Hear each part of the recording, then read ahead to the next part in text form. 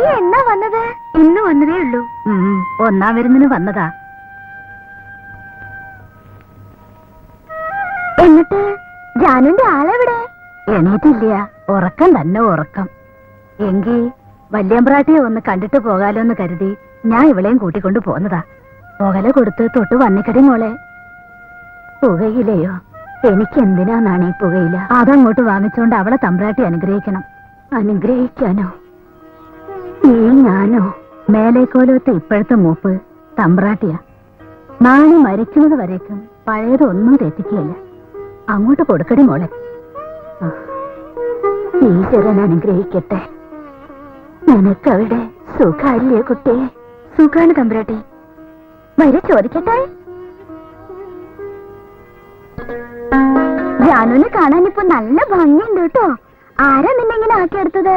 നിന്റെ ആളോ? ഞാൻ നന്നായിരിക്കണോ കൊച്ചുംപ്രാട്ടി കൊള്ളാം. നീ അവിടെ പോയിട്ട് എന്താ ഈ ചെയ്യണത്? എന്ത് ചെയ്യാൻ? ആഹാരം ശരിക്കും കഴിക്കുന്നുണ്ടാവും. അയ്യോ ഇല്ല.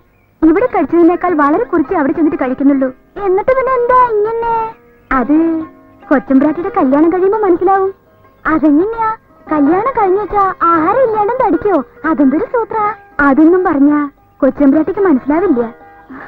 നീ ഇരുന്നേ.